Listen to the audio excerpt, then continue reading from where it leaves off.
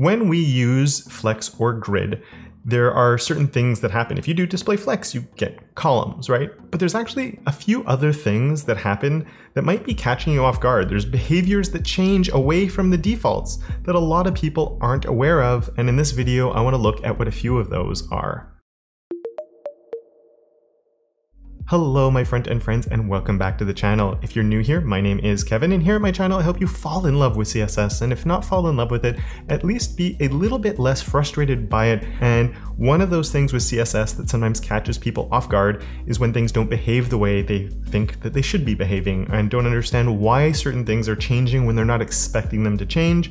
So that's why I want to look at these differences that can come up with Flex and Grid in this video. These are little things that can catch you off guard and I've looked in a few of them at the solutions that you can use to overcome them and just better ways to work that will be a little bit easier for you uh, in the long run. And once you understand this and you know that this is the behavior, it becomes very easy to work with them and you can start working in a much more consistent way as well. As one little caveat, some people might go, well, why is the behavior even different in the first place? And I don't actually have an exact answer for that, but these behaviors are different and we need to know that they are so we can work around them and work with it. And they actually work in a way that's a little bit more logical and a little bit easier to understand.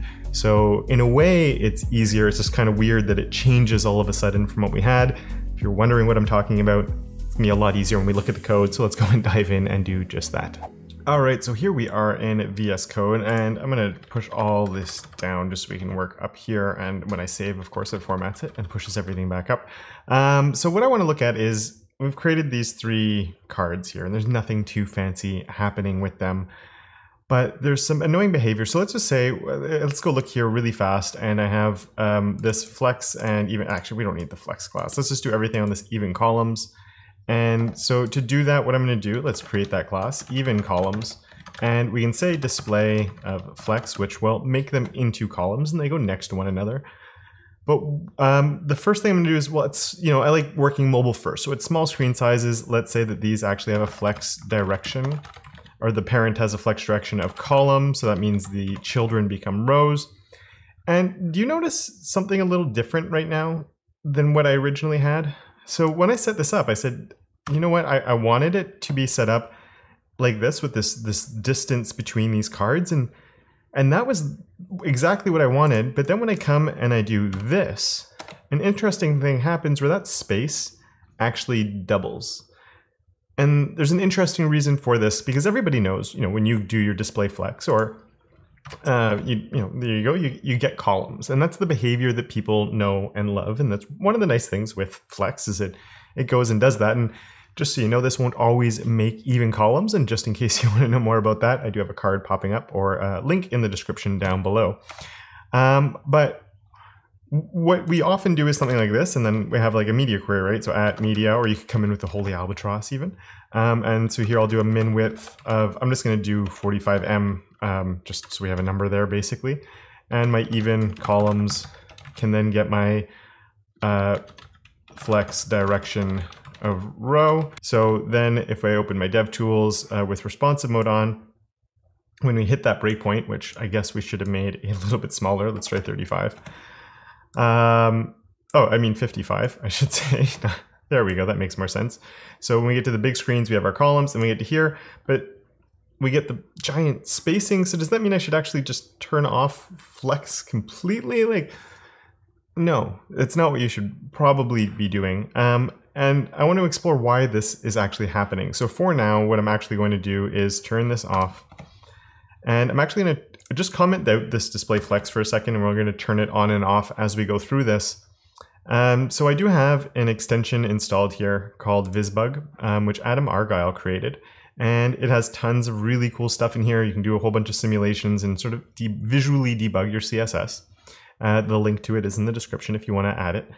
And uh, I'm going to choose this guy right here, which is my margins one. And what that means is I can click on something and see the margins of it. So, you know, that's kind of cool. But you can also, uh, so if I click on this, I can see the margin on the top and the bottom there, and we have 32 and 32.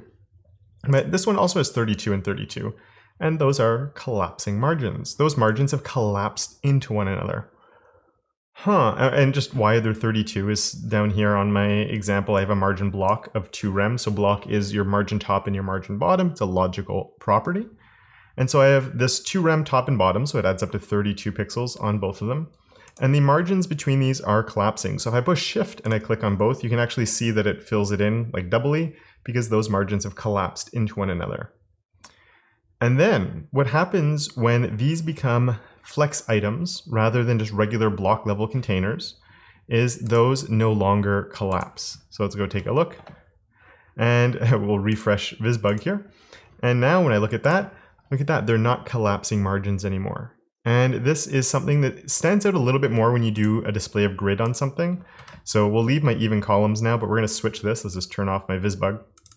And we'll switch this to grid um, because this happens all the time where you don't have anything on it. You have them like that. You know, you have your items, and then as soon as you do a display of grid, the spacing on everything doubles because the margins are no longer collapsing. You see this if you have something as paragraphs that becomes a grid parent, and those paragraphs become grid items, you always see it where all of a sudden your paragraphs become double spaced. Um, and if you if you'd like to know more about collapsing margins, I've gone deeper into how they work. Um, so if you'd like a more in-depth video where I just explore margins in all their glory, or just specifically on uh, collapsing margins, I've linked that one down below. And once again, there should be a card popping up. We've got a lot of cards on this video.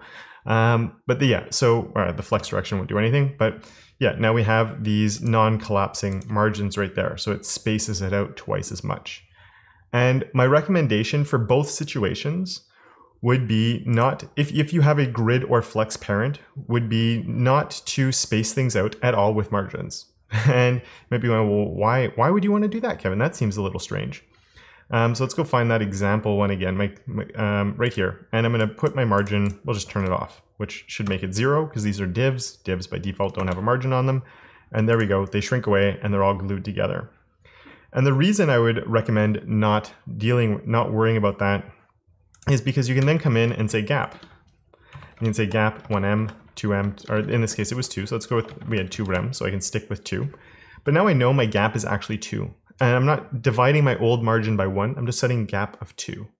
And that means if I do change the direction, so we can do a grid auto flow of column instead, and now I know the gap this way is two, or if we did it before like we had with our flex, so let's just delete all of this, uh, we can say our display is flex, and then we'll come in with, we'll turn this back on, and we'll turn this back on, so now I get this behavior again where it's stacking and then at the large screens it becomes columns and right now it's all glued together. And that's perfect because this means I can be nice and consistent because what I can do is here say gap is 2 rem. And now the nice thing with gap is when the flex direction or the grid auto flow or however you're doing it, if you have a grid that's doing multiple rows and columns, in all of these situations, the gap vertically here is 2 and when it goes this way and they actually go next to one another, now my gap between them that way is becoming two. And this is super, super cool and handy. And I'm just gonna turn off VisBug because I don't actually need it now. So let's turn you off. Um, and yeah, so it, it, can become really, really handy in getting consistency and all of that. And that's one of the big things that a lot of people don't seem to realize when they use Flex or Grid is that the margins no longer collapse. And there's another stage to this collapsing margins as well. And so let's turn off uh, what am I, let's, let, we'll stay right here. This is my H2. What I'm gonna say is dot, um, the, the headings have a, a, padding on them right now, so let's take that um, padding off. And you see it less if you have backgrounds, but let's turn off my padding for a second. And even though um, my example has the padding off, notice how we have a space on top here. And that space there is coming because of this being a display flex. So the parent is a display flex. The items inside become flex items. If the parent wasn't a display flex or a display grid, the margin of the child collapses with the margin of the parent. And it actually, it's creating gaps between them, even though this margin is coming from the H2 here, or actually in this case, it's probably all the H2, but the paragraphs at the bottom will be bleeding out the bottom too. And just to show you that's what's happening, let's open up that VisBug that I said we don't need anymore uh, select my margins, and you can see that that margin is coming from here. Or this margin, it's actually coming from my H2 or my paragraph. So those margins are spilling out of their parent because the parent itself, if we can if we can get it, can I get it? I don't think I can click on it. Um, the parent itself doesn't have a margin on it, it's spilling out. But when we change something to be a flex container or a grid container, the margins this what it's effectively doing is creating a new formatting context and that means that the margins are no longer collapsing. And because we're creating a new formatting context it means that the, the margins of what's inside won't spill outside of it. And just really quickly collapsing margins only happen on the top and the bottom not on the left and the right. Um, so yeah just to throw that out there um, as a little extra so that's one of those really important things that sometimes causes weird layout shifts when you're not expecting them to is things margins behave differently when we have a block element or when we have flex and grid items. And this is also another thing that's very different um, or interesting, I guess we should say. Um, when we have a We'll talk about flex because flex and grid formatting contexts are very, very similar. Um, and what I mean by a flex formatting context, when we do a display of flex, the children are becoming flex items.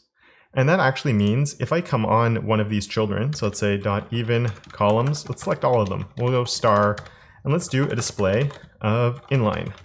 Nothing, nothing will change. It's literally exactly the same. Or if I made that block, nothing will change. And that's because once, and the parent is a display flex, these children, it doesn't really matter. I mean, if you throw a display none on here, it matters because it takes them out of the flow. Um, but the display inline, a display block, a display inline block, they don't change anything. They don't, they're not having an impact on them because they're flex items and they're behaving like flex items.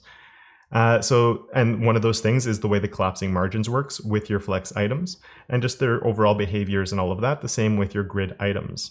So if you ever are trying to get something to behave in a certain way and you're trying to change the display of it when it's a flex or grid item and you're getting frustrated, this is why. You can't make that change. It's that, that sort of goes out the window a little bit with those. And another thing that's important here is that even if something doesn't have a div around it, so let's just say I come here and I just put some text, here is some text, this actually becomes a flex item, even though there's no element there. So if I hit save, that's a new column and it's behaving like a column. That gap is being applied to it anything that would be, now I can't select it. I have no way, like this, like if we said background, background, red, important, it's not going to select it because it's not actually an element that's there to be selected. It's just some a string of text. But it will be treated like a flex item as far as the layout goes. So it's going to get its own column and do its own flexy things, even though it's not an element. This is hopefully something you don't run into very often, but it is important to know. And once again, this is the same for grid where something will become Let's just throw this over to grid. Um, just so you can see, like the gap is the gap's still applying there. It's still doing its grid things. And if we let's do the uh, grid grid auto flow of column, just so we can see, and it's going to get thrown on there. Or maybe we could even do grid auto row of 100 pixels and uh, rows, not row, and 100 is way too small. Let's do 1000. So it's super huge. So that has a lot of space. Well, guess what? Even though this is just a string of text, it has that thousand pixels. Uh, so it's not something I can select. I wouldn't try and take advantage of this. It's just so if ever you do have something like that, so you understand what's actually going on with it and some important differences with when we have something that is display grid or display flex and the changes that it could make uh, to what you're working on. There are a few other implications as well about when we're doing all of this, but I think most people know what those ones are and they work with those all the time. So um, this video is more about the ones that aren't covered too often. And if you found this interesting, but you were wondering why I would choose uh, grid over flex just to make even columns, that video is right here for your viewing pleasure. And with that, a really big thank you to Stuart, Randy, and Johnny for being my supporters of Awesome over on Patreon, as well as all my other patrons for their monthly support. And of course, until next time, don't forget to make your corner of the internet just a little bit more awesome.